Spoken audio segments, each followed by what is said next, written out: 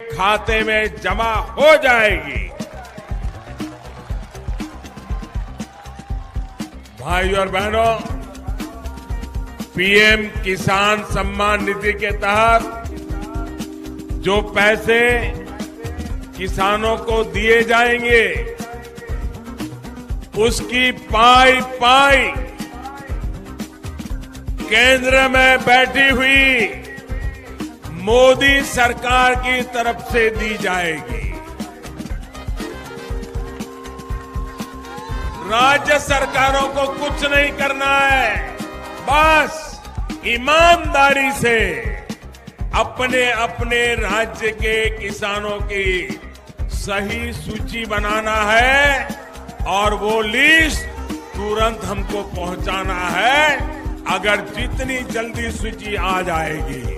और मैं उत्तर प्रदेश सरकार का, बिहार सरकार का, गुजरात सरकार का, महाराष्ट्र सरकार का, उत्तराखंड की सरकार का, ऐसी कई सरकारों का हृदय से अभिनंदन करता हूँ तो उन्होंने इस काम को प्राथमिकता दी। लेकिन ऐसी भी कुछ राज्य सरकारें हैं जिनकी नींद अभी खुली नहीं है। उनको लगता है कि इस पर वो राजनीति करने जाएँगे। मैं इन सरकारों को चेतावनी देता हूँ। अगर आपने अपने राज्य के किसानों की सूची समय पर नहीं पहुंचाई,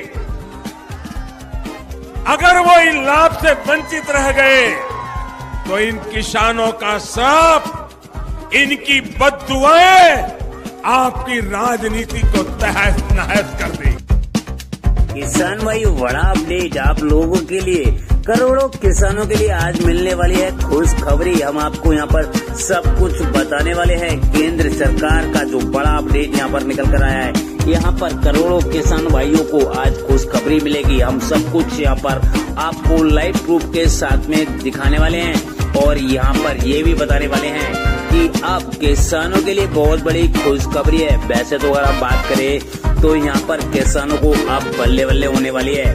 महिलाओं के लिए भी यहाँ पर बड़ा अपडेट निकाल दिया गया है। किसान भाइयों, जैसे हम आपको बता दें, महिलाओं को अब पच्चीस सौ रूपए प्रति माह मिलने वाले हैं। ये पैसे किसको मिलेंगे? जो आंगनबाड़ी में लगे हुए हैं, उनके किसान भाइयों के लिए जो है यहाँ पर पच्चीस सौ रूपए प्रति माह जो है अब यहाँ पर इनकम होने वाली है। राशन कार्ड को लेकर भी बड़ा अपडेट यहाँ पर दे दिया गया है। अगर आपने अभी तक राशन कार्ड में ई केवाईसी नहीं कराई है तो जल्द से जल्द जाकर करा ले, क्योंकि आपको आने तो वो भी सही था। मगर उनका जो था एफटीओ जिसे हम बोलते हैं, जो पैसा आपको यहाँ पर मिलता है, वो एफटीओ के थ्रू मिलता है। तो उसमें प्रॉब्लम थी, जिसकी वजह से आपको यहाँ पर पीएम किसान सम्मान निधि योजना का पैसा नहीं मिला था। आसाम का बंदा था तो उसको भी मैंने यहाँ पर पैसा दिलवाया।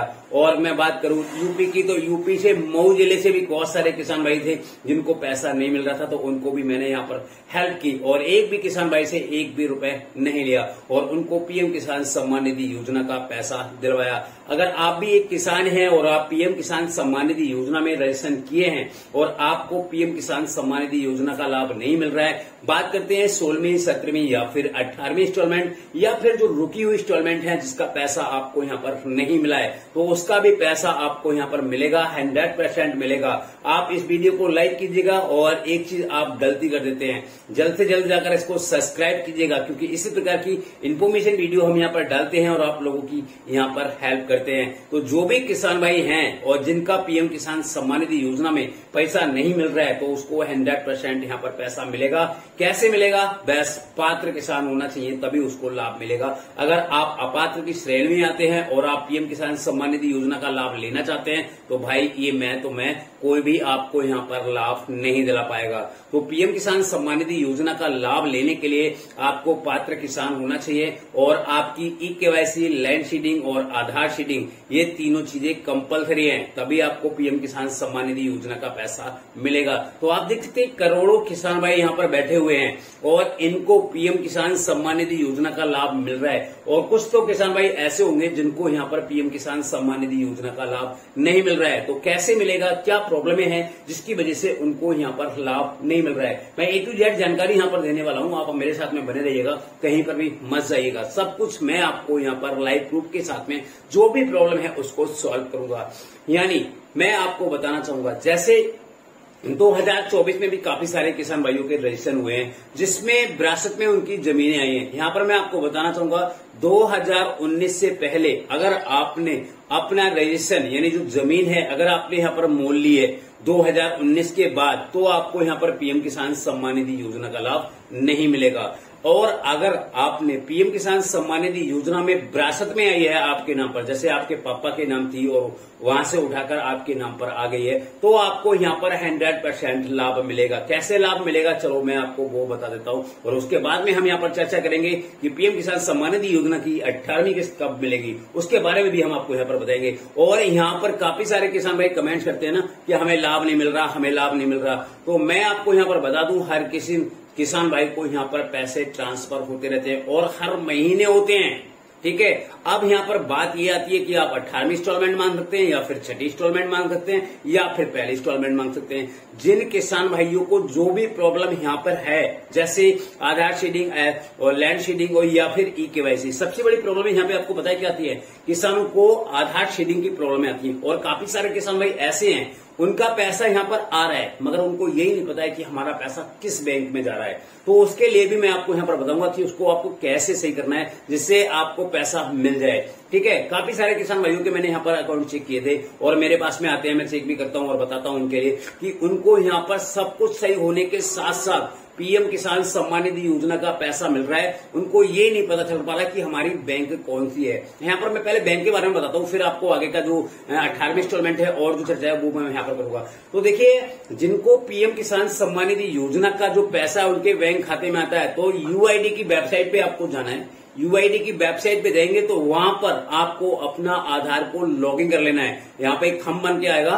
और वहाँ पर जाकर उसको लॉगिन कर लेना है। लॉगिन करने के बाद वहाँ पर आधार शेडिंग का एक ऑप्शन आपको देखने को मिलेगा। अगर आप उस पर क्लिक करेंगे, उस पर क्लिक करने के बाद थोड़ी देर के बाद डाटा ओपन हो जाएगा और ओपन हो जाने के बाद वहाँ पर जो आपकी बैंक होगी, वो आपको वहाँ पर दिख जाएगी कि हमारा किस बैंक में पैसा जा रहा है, जो किसमें हमारी एनपीसीआई लिंक है, जिससे हमें पैसा यहाँ पर मिल रहा है। मैं आपको यहाँ पर एक चीज़ बताना चाहूँगा, किसान भाइयों, ऐसा कोई किसान नहीं है जिनको, जिनका बैंक खाते में, यानी एक नहीं, दो नहीं, तीन, कोई भी बैंक में उनका अकाउंट हो सकता है एयरटेल पेमेंट बैंक में हो सकता है आईसीआईसी में हो सकता है स्टेट बैंक में हो सकता है अदर बैंक बहुत सारी है, किसी में भी उनका अकाउंट हो सकता है। मगर ऐसा कोई बंदा नहीं है जिसका एक अकाउंट हो।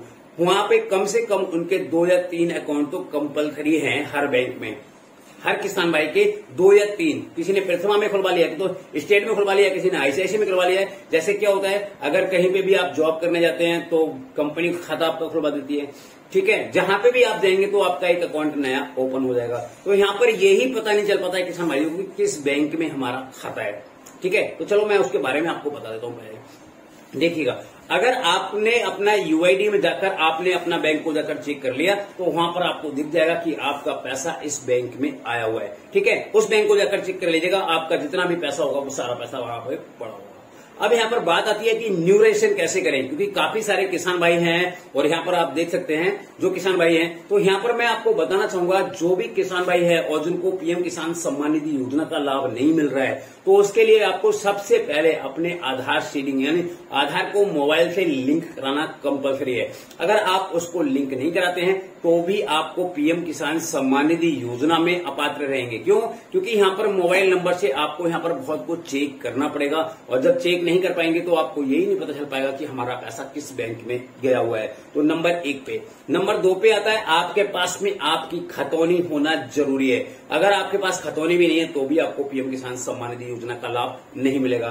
नंबर तीन पे आती है आपकी जो मोबाइल नंबर है, आधार है और उसको, यानी आधार होना चाहिए, बैंक की खाता और खतौनी ये तीन डॉक्यूमेंट अगर आपके पास हैं तो आपको पीएम किसान सम्मान निधि योजना का लाभ मिलेगा, ठीक है? और यहाँ पर भी कुछ शर्तें हैं। आपके यहाँ पर कोई भी गर्म, कर्मचारी न हो, यानी गवर्नमेंट में कोई भी न हो, पात्र होना चाहिए आपके पास में। चाहे एक बीघा ज़मीन है तो भी आपको पीएम किसान सम्मान निधि योजना का लाभ मिलेगा, ठीक है? तो यहाँ पर अब बताते हैं। तो पहले आपको रजिस्ट्रेशन करवा लेना है। कैफ़े से जाकर करवा सकते हैं सीएससी सेंटर से करा सकते हैं, अपने आप ऑनलाइन कर सकते हैं। अगर आपका आधार मोबाइल से लिंक है तो आप पीएम किसान सम्मान निधि योजना की वेबसाइट पर जाइएगा और वहाँ पर जाकर आपको न्यू रजिस्ट्रेशन का ऑप्शन मिलेगा।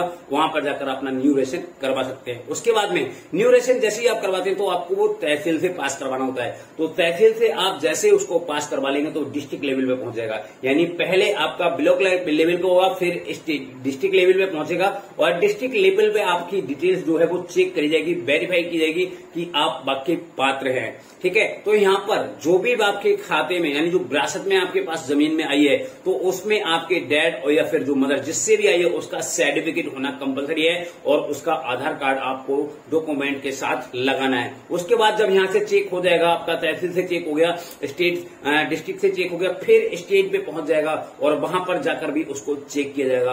अगर वहाँ से वेरीफाई हो जाता है तो उसके बाद आपकी बन जाती है वन फैसरी स्टेटमेंट जहाँ पे हम चेक करते हैं, जिसको हम रेशन नंबर बोलते हैं। ठीक है? रेशन नंबर निकालने के लिए काफ़ी सारे किसान भाई मेरे को यहाँ पे कमेंट कि रेशन नंबर नहीं निकल रहा। तो उस पर वैसे तो मैंने ऑलरेडी बहुत सारी वीडियो बन रखी है, मगर मैं आपको यहाँ पर बता देता हूँ। सबसे पहले आपको प्ले स्टोर पे जाना है, और प्ले स्टोर पे जाने के बाद वहाँ पर आपको सर्च करना है एग्रीकल्चर एप्लीकेशन ठीक है? तो वहाँ पे एक गोल करके जो है, एक एप्लीकेशन दिया है। वहाँ पे जाकर आपको अपना मोबाइल नंबर डालना है, यानी आधार नंबर डालना है। वहाँ पे दो ऑप्शन मिलेंगे, एक आधार कार्ड का मिलेगा, दूसरा रेशन का मिलेगा। तो दूसरे वाले में आपको च्वाइस कर लेना है आधार नंबर आधार नंबर डालते ही, और मैंने आपको बताया था कि आपका मोबाइल नंबर आधार से लिंक होना ज़रूरी है। तो अगर वहाँ पे लिंक होगा तो उस पर एक ओटीपी जाएगा ओटीपी वेरीफाइड करके, और आप वहाँ से जाकर